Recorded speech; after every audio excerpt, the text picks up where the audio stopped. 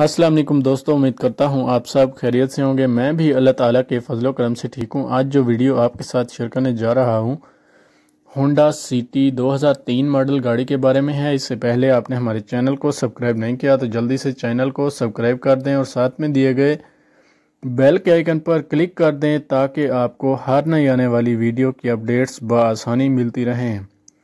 तो चलिए वीडियो को स्टार्ट करते हैं। सबसे पहले इस गाड़ी के मॉडल की बात कर लेता हूँ। ये गाड़ी 2003 मॉडल है और 2003 के नंबर से रजिस्टर्ड है, जो कि फैसलाबाद के नंबर से रजिस्टर्ड करवाई गई है। अगर ड्राइव की बात करता हूँ तो ये गाड़ी सिर्फ़ और सिर्फ़ तेईस हज़ार किलोमीटर तक चल चुकी है। कंडीशन की बात करता हूँ तो गाड़ी यूज़ कंडीशन में देखने को मिल जाती है। गाड़ी का स्टेयरिंग नीट एंड क्लीन है। गाड़ी की सीट्स भी साफ़ सुथरी हालत में मौजूद हैं। अगर इंजन की बात की जाए तो इंजन भी बहुत साफ़ सुथरी कंडीशन में देखने को मिल जाता है। इंजन वाइज गाड़ी में किसी भी तरह का कोई मसला नहीं है। इंजन की सस्पेंशन 100 परसेंट ओके है। गाड़ी में न्यू जापानी टायर इंस्टॉल करवाए गए हैं और जापानी अलायरम भी इंस्टॉल करवाए गए हैं, जो कि गाड़ी की खूबसूरती और परफॉर्मेंस में मज़ीद इजाफा करते हैं। अगर गाड़ी की बैक लाइट्स की बात करूँ तो back lights neat and clean है। बोनट का मुआयना आप अंदर से कर सकते हैं। बोनट बहुत साफ़ सुथरी कंडीशन में मौजूद है। कलर वाइज ये गाड़ी आउट क्लास कलर में मौजूद है।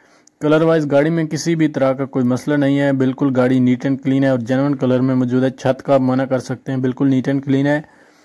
कलर वाइज गाड़ी आउट क्लास कलर में मौजूद है, कलर कहीं से भी नहीं उतरा हुआ, बिल्कुल जेनवन कलर में मौजूद है और जेनवन कंडीशन में गाड़ी मौजूद है। गाड़ी में हैवी साउंड सिस्टम भी इंस्टॉल करवाए गए हैं, ऑडियोनिक कंपनी के स्पीकर इंस्टॉल करवाए गए हैं। गाड़ी में एम पी फोर प्लेयर के अलावा आपको एफ़ एम रेडियो भी देखने को मिल जाता है गाड़ी में।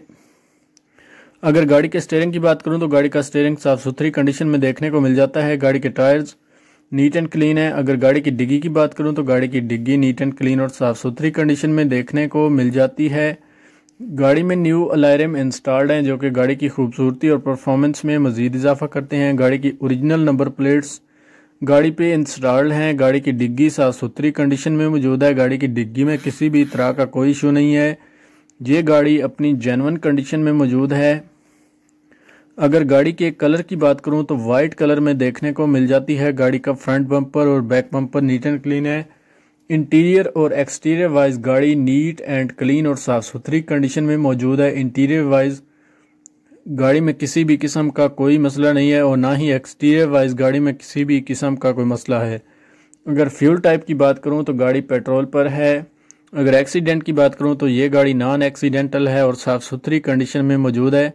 साइड मिरर भी बहुत साफ़ सुथरी कंडीशन में मौजूद है। सीट्स भी न्यू हालत में देखने को मिल जाती हैं। गाड़ी का डैशबोर्ड आप देख सकते हैं कि कितना ज़बरदस्त, नीट एंड क्लीन है। गाड़ी की छत का माना किया जाए तो छत भी नीट एंड क्लीन और साफ़ सुथरी कंडीशन में मौजूद है।